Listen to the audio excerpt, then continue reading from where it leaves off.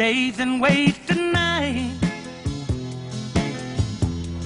I have Welcome back. We are joined this morning by Chef Trey Wilcox from Trey Wilcox Cooking Concepts. Thank you so much for being here. Happy I, Monday. I love the whole idea. Now, businesses or, or groups can go into your space and you put them to work. I mean, it's just fun. Corporate team building's huge. Corporate America loves it, and I have a perfect venue for it. You do. That you do. cooking stations that people can get split up into mystery baskets, and just like work together as a Try team. to make something. Mystery Make baskets? something. Who's the Yeah. judge? Who decides? I am. Power, baby. Good or bad, I There you think. so, what are you making today? Um, you know, summer's on the way, so I feel like it would be really cool to show just a little fun twist on guacamole. Mm-hmm. I mean, Okay. edamames are always served in restaurants steamed with salt. Yes, love But, you know, a while back I started kind of playing with them and saying, here, Alexis, my daughter, sit at the bar and start shucking these out of the pot. Yeah, my daughter loves to do that. Yeah, she got a funny name for them, right? She calls them Etta babies.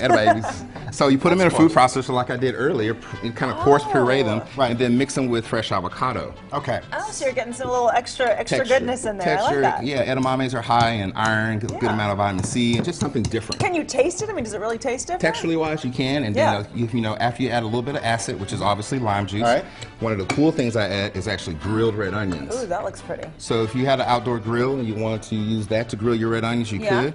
Um, I, obviously, I use tomatoes, So you guys cilantro. can just chop all this up and throw it in. That's what's up. What now, is that? the chili that I use is actually a habanero. A habanero chili I use instead of avocado, uh, instead of a Oh. Yeah, why? jalapeno, because I want it to be hot, but I don't want the jalapeno to obstruct too much of the flavor. Yeah. The flavor of the edamame is what I'm trying to bring out, so I really want to accentuate that. Okay. Um, so a little bit of spice, but not overpowering. Exactly, and I don't want that jalapeno flavor to come out and compete with my edamame. So you can make this in advance. It's one of the cool things. I got a vegetarian, gluten-free cooking class coming up, and there might be something that makes the menu.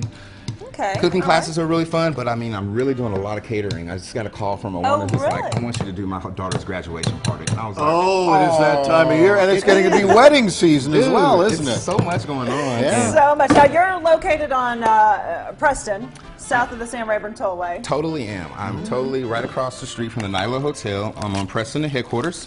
So we're up there where the new Liberty Mutual's going, the new Boeings. you Busy, know. busy, busy area. It is a Toyota, fun place. all kinds of stuff so going on. I just really love doing the business because it gives me the opportunity to do so many different things.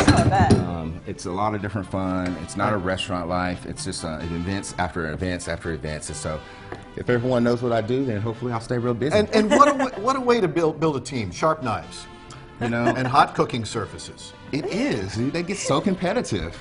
You know, we, give, bet. we give them prizes and. We'll put a cool. link to uh, Trey Wilcox Cooking Concepts, and also uh, we'll put this recipe on our website, fox4news.com.